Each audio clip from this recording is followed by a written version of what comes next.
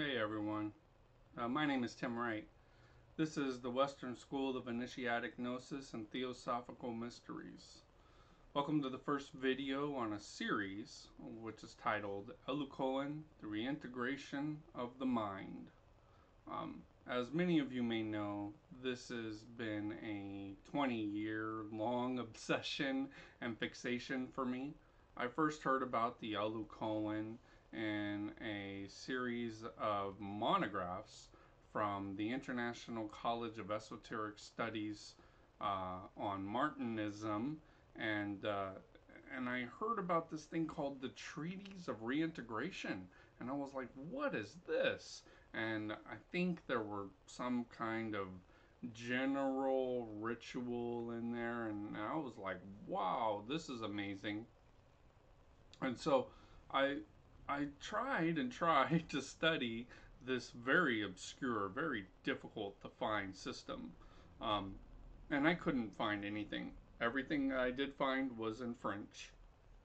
Nothing was available to English speakers, um, so we, we really had nothing, uh, and it was that was a really big challenge. That was frustrating, uh, and I went that way for I want to say 15 years or so it was about 15 years that I just went through trying to find out something about the Élus Coën, uh, something about Martinists, uh, other than the very easy to find stuff. Then all of a sudden, something amazing happened. There was a group that popped out and started making available primary sources of Martinism and primarily the Élus Coën uh, way back in 2018 or so. And then they started uh, on academia.edu, they started sharing all this stuff to the public for free. Um, and, you know, it took a little bit of time to build up an understanding of what I was reading. At first, it was like some kind of French document that was boring in French, and then there was a little English to it. Um, eventually, I actually came to value these things very, very well. Um, in fact, I made a binder full of them. Here we go. I got it right here. I have so much Élus Coën and Martinist stuff around me. It's crazy. I don't have any rituals. Uh, the rituals are hardly available to anyone, anywhere, anytime. If you have them, let me know. Maybe we can chat more about them. Um, but what happened is the catechisms uh, came to English uh, Martinists. We got them. Uh, they, this group in 2018 made all of these writings available that were first in just French and that were only talked about in academic circles. Um, and then all of a sudden they start becoming more available. Now, if you go to academia.edu and look up the Élus Coën, uh, you'll see that the catechisms, which were the primary teaching tools of the Élus Coën, are now fully available, fully translated in English. Uh, for the first through all of the degrees of the Élus Coën. It is an amazing, amazing feat. Um, there's really a lot of hours, a lot of work, and a lot of meticulous proofreading and editing that goes into these documents. Um, they're they're very high quality. Not only do you get uh, in them, you get the French transcription, you get the actual facsimile of the original document. So, like, if they messed up and you read French very well, and you can read these crazy scribblings in French, which I got to tell you, they're not easy to read, uh, even seeing what the French word is. But if you can see it, that's great. You'll have that and then you'll have an English translation uh, by a team of translators of these folks uh, that is available to you to read. So I printed out, they're all free. So I went out and printed them all up, and now I have them all grouped in my nice little Élus Coën catechism binder. You know, so I have this binder of all of the catechisms of the Élus Coën. These aren't some individual who wanted to talk about something that they learned from some secondary source and they're like, you know what, I'm going to make a catechism. No, these were actual documents from the actual practitioners of this group. Very powerful. Uh, you know, and, and since you can read these, they're all grouped. Now, the problem is, is that a lot of people don't know what you'll read in every one of these translations. There's a very helpful introductory essay called The Grades of the Élus Coën. This is one of the most valuable documents that researchers have that are looking into the original Élus Coën uh, teachings. Uh, if, if you read this, you're going to read that what happened was originally because the Frenchies, I like to call them, uh, they read the French writings and it said, oh, there's an apprentice, there's a companion, there's a master. And then they read them again and it said, oh, that's interesting. There's an apprentice, a companion, and a master. Must be the same thing. It's a three degree system, it's masonry. Not true. There was a apprentice, companion, and master in one system of thinking, which was the pedagogical blue band that Martinez absolutely insisted on almost to the day of his death, which you'll read in some of our secondary sources that are available now to researchers, um, which I recently got a hold of and gave me the energy to do this video. This is the third time, by the way, I'm recording it so I can upload it to the page. Anyway, so you'll read about that uh, system, which had the first three seemingly Masonic degrees in an Élus Coën spin, but then again, you'll read about the Maitre Elu, which is the fourth degree. Uh, then you're going to read about the fifth through eighth degrees. Um, the fifth, sixth, and seventh are the are the teachings that are almost exactly like the first three. They call them the apprentice, the companion, and the master. But they're not uh, these symbolic ones. They are called the. Let's turn to it real quick. I don't want to mess up words. Um, these are called the uh, the apprentice Alu, the or the apprentice Cohen, the companion Koan, and the master Cohen grades. After that, you have one that's so similar to the fourth degree, uh, which is called the um, Lu, um, called them the Grand Architect. That's the eighth degree. So it goes one, two, three, capping grade, one, two, three, capping grade. Now you're at eight, and then you have nine, ten, eleven, capping grade. That there's three caps to the three kind of evolutions of the first teachings. Amazing, amazing stuff. You have every one of those catechisms in those academia.edu teachings. But not only did they give us these source documents, they gave us the you could get this online. I mean, everything I'm talking about is available free to you. All you have to do is um, open up your eyes, and it might be a little bit for the books, but it's way worth it if you're interested in the system. Rather than going and paying somebody who might give you a certificate of like completion. Like here you go. Like in in in work sometimes you know you do these computer tests and then all of a sudden you get a certificate of completion. You you spend all this time and energy and in these cases a lot of times money. And you get a certificate of completion and oh you did well but you learned pretty much nothing. Um, this system is not for those who just want a ready-made thought form that you can incorporate and go this is what i know this is what i am you can't do that it's a constantly evolving system um, so there's that anyway there the system was talked about by Saint Martin. I'm so happy this is going to be recorded. Um, the, the system was talked about by Saint Martin and the 10 instructions to the men of desire. Now, like I said at the beginning, when I studied Martinism, these were called the Lyons lessons. They're not. These are not the Lyons lessons. These are Saint Martin's 10 instructions lessons uh, to, and this is what they were called the instructions for the temples of the Élus Coëns elevated to the greatest glory of the eternal. Now, that is not an introductory text. That is you've been initiated. You're now in a temple grade. We're going to give you an understanding of what you just went through. This is not, oh, we're going to give you an introductory syllabus and you're going to go through an initiation eventually. People didn't know this stuff. They didn't get this stuff. They went through an actual experience of initiation, uh, which you can YouTube and hear about uh, through some of these translators and teachers. And then they learned what they went through. Then they had the degree that they got to work and understand and do practices about. They didn't do all this stuff, then have a, a capping initiation. They knew nothing.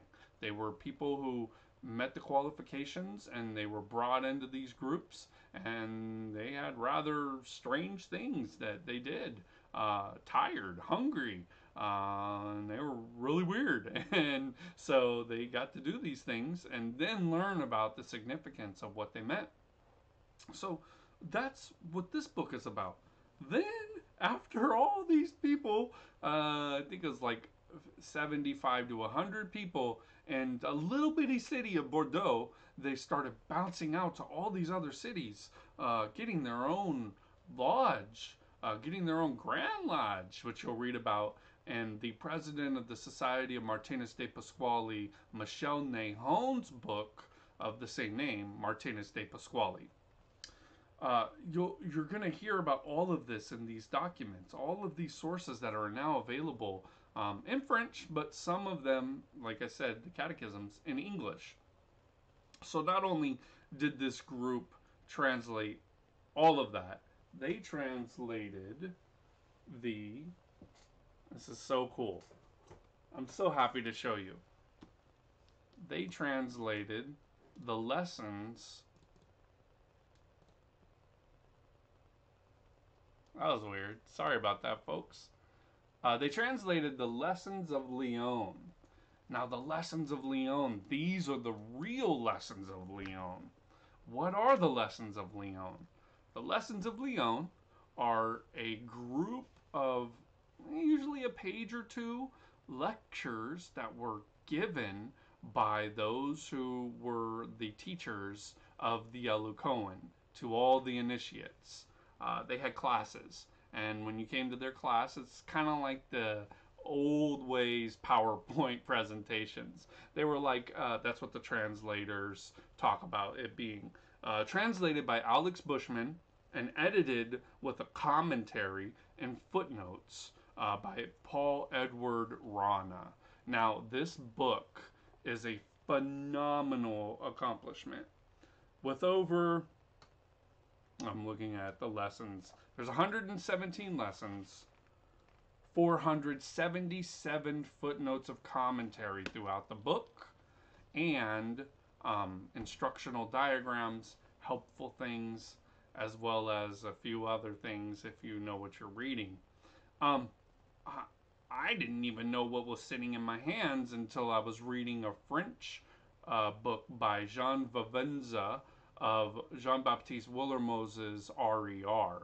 There was there was a group that he called the I always mess this up Re, Rectifique uh, right the right of rectified Scottish Rite kind of thing. Um, I don't know. I'm not a historian. I'm just a researcher, but I can look up the word. Um, what happened was Willermoz uh, got into masonry at a very young age and started practicing Masonic stuff with some of the biggest masons out there, and all of a sudden was like, nah, I don't like the way masonry is going. Similar to how Saint Martin in the Illuminism period was like, I don't like where education's going. Um, this doesn't seem to be in the spirit of what we did as uh, Masons before, so we're not going there. And that's when he wrote the Spirit uh, spiritual book, really, of errors and truth. Um, which sounds like garbage when you're reading it in French because it's just paragraph after paragraph. So it's Saint Martin's writings are really hard to read, but in these writings, they weren't these big old treatises that were written in order to like stump people. These were clarifying teachings. So the lessons of Lyon were written um, and and actually orated in order to uh, teach the system of the Élus Coën. So, in 117 lessons, this crew, again, who did the translation of all of these catechisms, got together and did this book. Uh, it's like fifty dollars out there on on uh, Lulu. It's a, it's a little costly, but you know what? I mean, the translators are well worth the effort that that you're going to put in to buy this book. If you're interested in these things at all, I one time bought a book that sits on the shelf. It's an academic book by Brill um, for Valentinian Gnosticism. It's a good 500 pages, a hundred dollar book. It was a hundred dollars for that book. One of the most expensive books I've ever bought. Uh, some books are, you know, some of these. Uh, if you go out into the Scottish Rite Research stuff, you're going to pay sometimes three, four hundred dollars for a book. So if you value this kind of research, this book is a gold mine. Not not only like I said with the large commentary, but the translation of lessons that were not known before. Which, since we're talking about the primary source itself, I wanted to tell you about. So this book was done off of uh, multiple sources, but primarily the French book of Robert Amadou. So Robert Amadou uh, translated the French library with the lessons of Lyon and uh, made it available. So not only that, but there's a lot of joy in this one because in Amadou's book, he put some special, and this is the first numberings of these writings, he put some special writings in there. Uh, in France, at the time of the Élus Coën, uh, Joseph Pernelle de Lier was the archivist of the Élus Coën. He has many, many, many writings uh, that were attributed to him, most of which are those catechisms of the of the Bibliothèque Municipale Grenoble. Um, but uh, these writings um, he kept in notebooks and he made them available to students. So part of the writings included these actual meetings, according to Dominic Cambot, uh, the actual meetings of the Élus Coën in front of Martinez. So these aren't just secondary students wanting to make their own school. Um, these are actual reports and notes of teachings that came from Martinez. So I'll tell you which ones those are. Um, they're in April of 1776. Uh, 1776, yeah. They could be 1775. But they are either April of 1775 or 1776. They are the numbers uh, of, of writings that were put into Amadou's book that were not available to anyone else in French at that time. He collated them from the library. So, when this was given to the translators, they put it now for us in English. So, you have in English actual reports of the Élus Coën.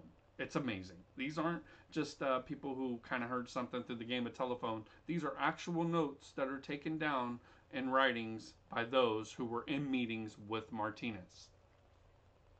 And that should that should be any kind of um, primary source that you go to is the actual teachings of the people themselves, not scholars who come after the fact with maybe like uh, you know a lot of you know me and I've talked to a lot of uh, mystic people. Uh, one of the bishops that I worked under for probably five years was Dr.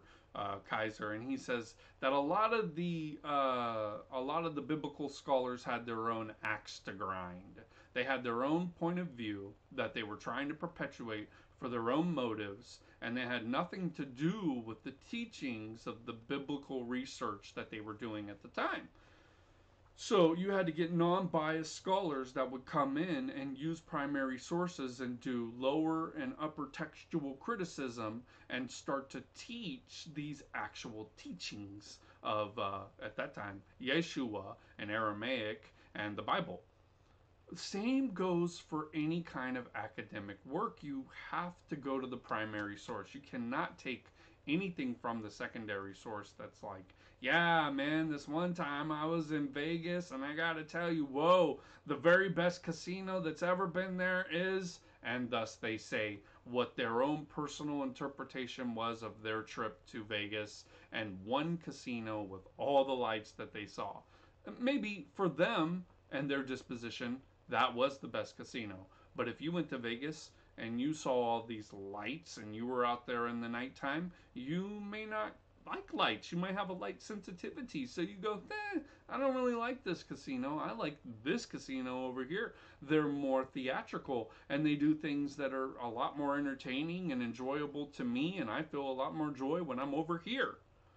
So it all goes into perspective of consider your source. If you're thinking and and taking perspectives of a secondary source, you probably aren't getting the full story. Anyway, these are primary sources. They're available in English for the very first time, and uh, it is a very amazing thing that these people translated this uh, and made it available. We are in the age of information, and now about the Élus Coën, we're in information overload. So, as an introductory to these writings, uh, just to let you know, your money won't be wasted if you're into this stuff at all and you're going to learn the catechisms for free, you're going to learn all of these teachings which support the catechisms, and uh, then you're really going to be ready, if called and if so motivated, to approach maybe your own group of. Uh, of initiations like you know maybe you'll get in touch with like these people uh, that are called the Élus Coën. You'll Google them, and and they'll they'll be like, "Wow, yeah, you're amazing. Come on and go go party with us or something." I don't know, but what I'm saying is that um, if you're at all interested in this thing, then now you have enough information to actually learn from the primary sources as an uh, English only one language monolingual person. Um, very amazing. We're I am extremely in a debt of gratitude to these individuals for making available teachings that we would never have. And, and let me tell you, there's a lot of work that goes into translation, especially these kind. They give you facsimile, uh, they give you a French transcription, and then they give you an English translation. Not in the Lyon lessons book because that would make it like 1,200 pages, but um, you you have that with all of the catechisms. At any rate, uh, that's what I wanted to do is introduce uh, some of these things, some of these teachings, some of these primary sources. Uh, what I think I'll do next video is we'll look at the article, which is fascinating me, in Seven Seals about the women that were introduced into the Élus Coën. That is a hot topic right now, not only everywhere, but especially in uh, these initiatic and mystical circles on Facebook and everywhere else. So uh, we'll talk about that. And uh, I'm grateful that you stopped in to watch this video. Hopefully, it was informative. Um, I could go through a bunch of stuff, uh, and we probably will. But I wanted to, in the other videos, I went over other stuff that I'll probably put in future videos. Um, but I'm running out of energy, and I just wanted to let you know about these books, about these sources, about these catechisms, and about these these amazing enlightened individuals that um, that are pretty much going to shape your worldview from here on out if you're interested. Thanks for stopping by.